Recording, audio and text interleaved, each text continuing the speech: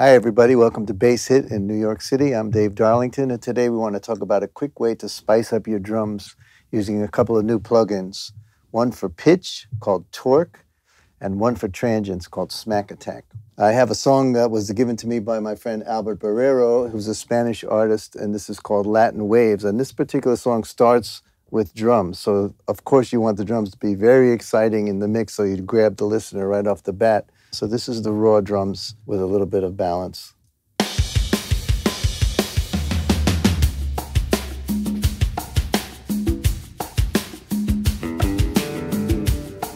So it's a pretty good drum recording and it's got a lot of energy and, and it's well played and everything. But I think we could do it a little better by maybe tuning the drums a little bit and making them smack a little harder. First, let's solo the kick. Nice and isolated. He's playing, you know, some ghost notes and stuff. So this is torque, and the first and most important thing is to find the fundamental of the drum that you're trying to, to transpose. And that's what this focus area is all about. You can you can sweep through the frequencies with the um, the focus control, and if you hold the mouse down on this little speaker, it works like a bandpass filter, so you can really hear where the main meat of the drum is. So let's hear the kick. You can see that you can see that peak of that wave right there around 102, and you can also hear it when I solo it. So now we know we're focusing on the kick drum sound on that microphone, and now we have to rock the threshold so that we get all the ghost notes and we get the main notes and we transpose those, but we don't transpose a lot of stuff that might be leaking from other microphones or uh, extra artifacts if we make it too strong. So there's a color there's a color um, LED output here to show you when you start to reach the threshold, it turns green. As you go lower, it turns yellow, which is the optimal, that's the optimal place to be. And if you go too far, it turns red. Which, which means you're going to start creating artifacts from the extra sounds. So you want to be kind of right, right where the green meets the yellow. And now we're going to transpose the kick and see if we can get some more meat into it.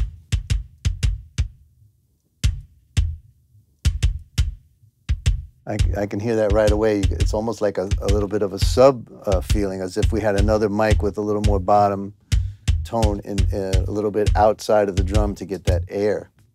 So that's uh, that's as if he tuned it, maybe tuned it, the skin down as well. So you, the, we were actually changing the fundamental of the drum note. Now that we've got a nice uh, tone, let's see if we can work on the envelope and add some attack and release. This is smack attack. It's very simple to understand. The, the light blue one is the attack. You can decrease the attack or, or increase the attack. And the uh, yellow one is the sustain. You can make the drum shorter or longer.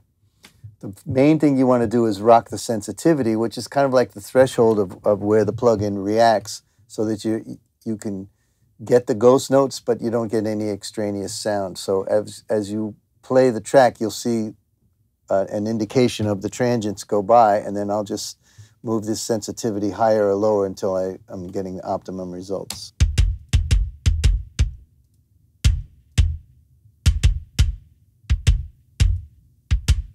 And the red line is showing us the changes that we're making. So you can see we're increasing the attack and we're increasing that decay. See that decay right there?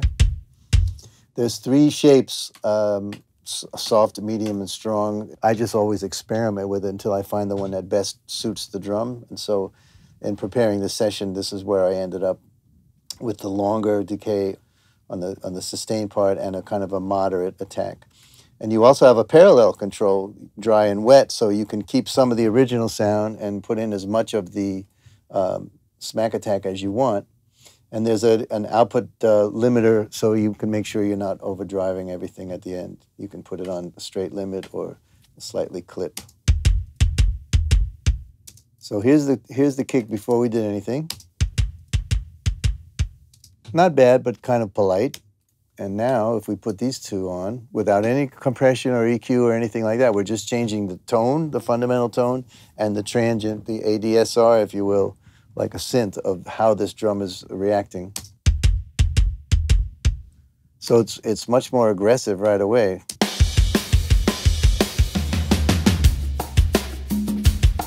It's that feeling you get when when you go to a concert and that guy hits the kick drum and it's coming through the PA system and hitting you right in the chest. So we've got eight bars of drums at the at the beginning of this song. We really need to get people excited.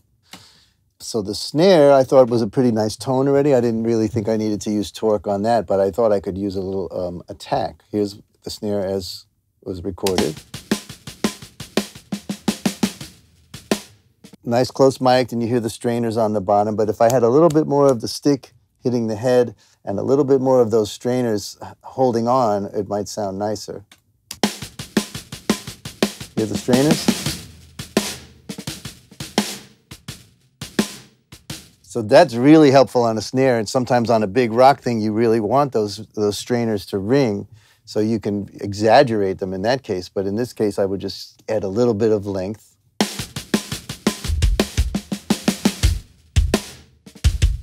Sounding great already.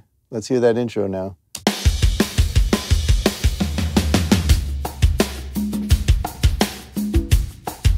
You can see already it's, it's, it's much more exciting with just a little bit of tone uh, control change in the drums to make the record jump out of the speakers, especially in today's world where the, where the playback systems are portable, uh, Bluetooth boxes and, or Bluetooth headphones. You know, you're not getting as much fidelity. We need to bring all that fidelity into play as best we can so that the consumer gets the excitement that the musicians are trying to create. There's only a couple of tom-tom fills. Let me solo right here where there's a good pair. Nice and clear, kind of polite. so what if we add some torque and let's uh, let's focus on that high tom first. You can see right here you can see the wave pop up at 268. So I've got it zeroed in in the focus point, and let's let's crank it down like three. You can actually make the rack tom lower than the floor tom with torque. Watch this. So here's the fill. That's really, really accurate on toms, especially if you find the focus point. So I'm going to go like three. Let's do the same thing on the floor tom. Floor tom is focusing around 145. Okay, that sounds better, right? There's more resonance. They sound a little more in tune, a little more musical. Now we'll just add. Uh, I was fooling around here with the with the sustain, going a little crazy. Let's add a little bit of attack and some good sustain. And you can see by the curve, the, the orange line is what the, is the result of the plugin. You can see by that line how much the sustain is being held up over time. You can hear that in the tom sound that it's really hanging out for a long time. Let's hear that in context. So suddenly you have these toms that are now hitting you in the chest, like when you go to a concert and you hear those drums really pounding out of the PA. That's that's what we're looking for in our mix too. You want them to show some excitement. You just don't want them to go kind of flabbing through the, tom tom fill.